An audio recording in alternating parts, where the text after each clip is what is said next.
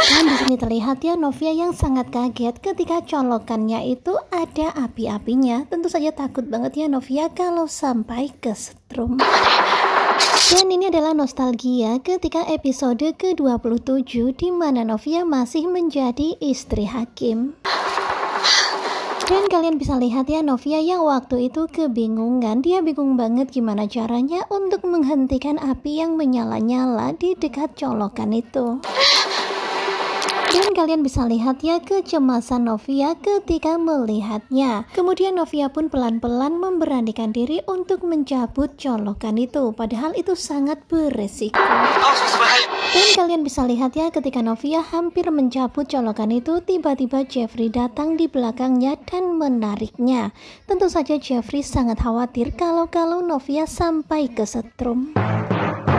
Dan kalian bisa lihat ya romantis sekali ketika Jeffrey menarik Novia, kemudian Novia hampir terjatuh di pelukannya. Di sini terlihat ya manis banget, tetapi nggak boleh ya, karena waktu itu Novia adalah istri orang. Tentu saja Jeffrey nggak mungkin bersikap kurang ajar pada Novia.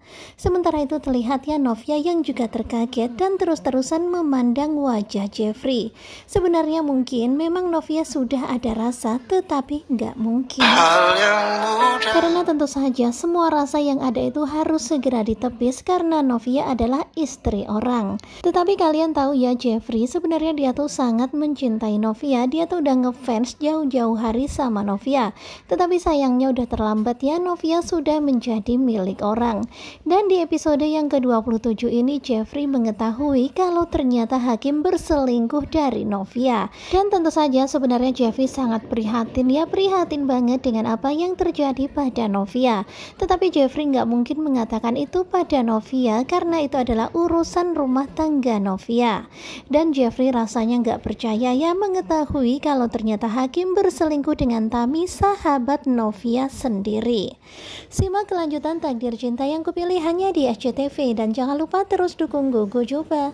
Terima kasih ya buat kalian yang selalu setia dan jangan lupa nantikan video selanjutnya. Terima kasih dan bye-bye.